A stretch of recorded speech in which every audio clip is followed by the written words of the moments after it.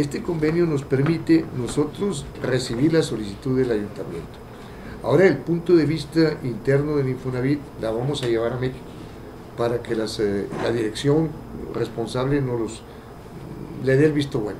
A partir de ahí, dentro de la gerencia de recaudación fiscal, tenemos que buscarle un registro al ayuntamiento como patrón.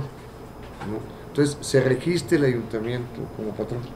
Entonces a partir de ese registro se hace un trámite ante Sociedad Hipotecaria Federal para garantizar lo que nosotros llamamos garantía de primeras pérdidas. ¿Qué quiere decir esto? Una garantía de primeras pérdidas es garantizar por parte del ayuntamiento que en caso de que no se cubriese ese crédito, el ayuntamiento se hace responsable. Esa garantía de primeras pérdidas consiste en el 2% del valor de la vivienda. En este momento yo tengo autorización de oficinas centrales de ofrecer el 1%.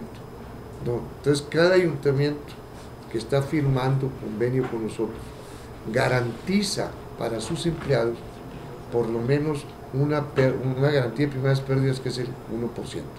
¿Hasta dónde lo garantiza? Lo garantiza ante Sociedad Hipotecaria Federal. Entonces, se van dando esos trámites. Luego vienen otros trámites internos que ya nos permiten precalificarlos, ver los perfiles de los empleados,